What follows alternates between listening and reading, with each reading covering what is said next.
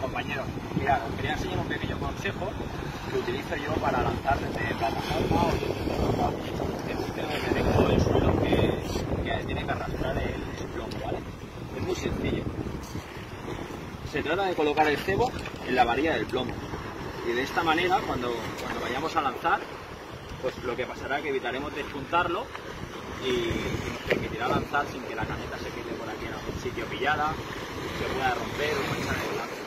Cuando pescamos desde roca o la gente pesca con el plomo ya en, alto, pues también va bien colocarlo.